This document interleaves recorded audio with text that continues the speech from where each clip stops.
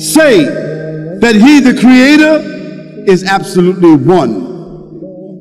One whom all depends while he depends upon none. He begets not, nor is he begotten. And there is none in the creation that has any similitude to him. This denies several things. One, if he's absolutely one, it doesn't mean the number one. That he is one above the creation and one single God. Not divided, no family, no board of trustees, no advisors, no lawyer, no bookkeeper, no company, no many gods sitting next to him, no mother, no father, no daughter, no son, no relative gods, no many gods, only God, God alone. That's what God has always said. And that's what Jesus said. The greatest commandment is the first of the commandments.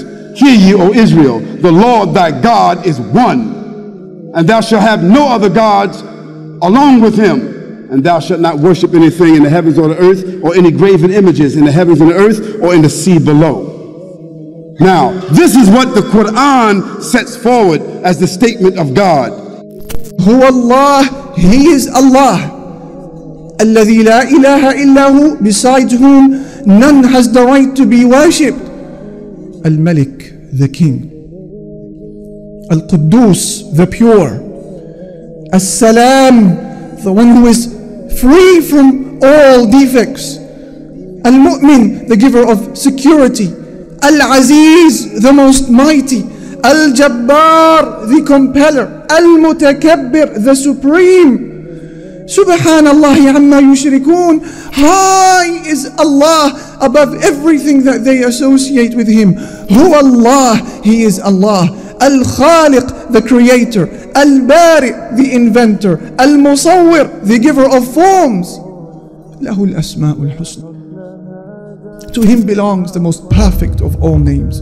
يسبح له ما في السماوات والأرض وهو العزيز الحكيم. Everything in the heavens and the earth glorify Allah and He is the most mighty, the most wise.